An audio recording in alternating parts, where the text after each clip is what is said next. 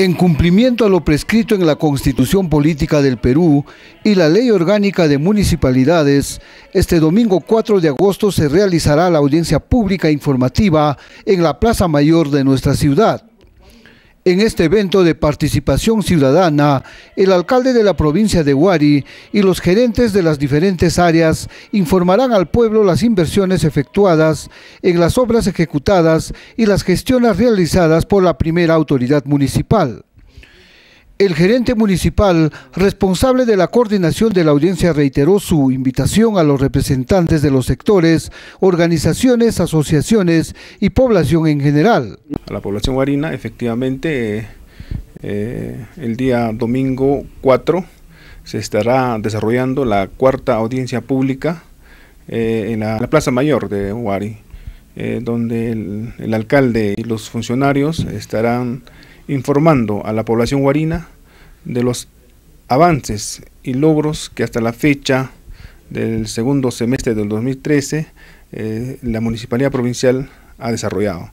Eh, en esta audiencia pública esperemos que se, dé, se brinde toda la información necesaria para que la población guarina tenga conocimiento de nuestros logros.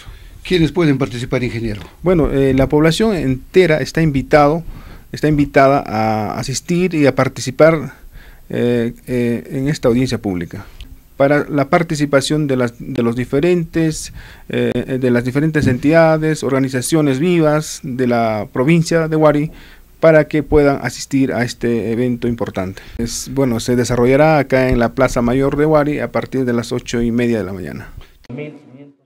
En esta audiencia pública se espera la participación ciudadana, seria y responsable, a través de sus preguntas, aclaraciones, críticas, propuestas y alternativas de solución, para que la gestión municipal se encamine hacia el desarrollo sostenible de Huari con el respaldo de la población huarina.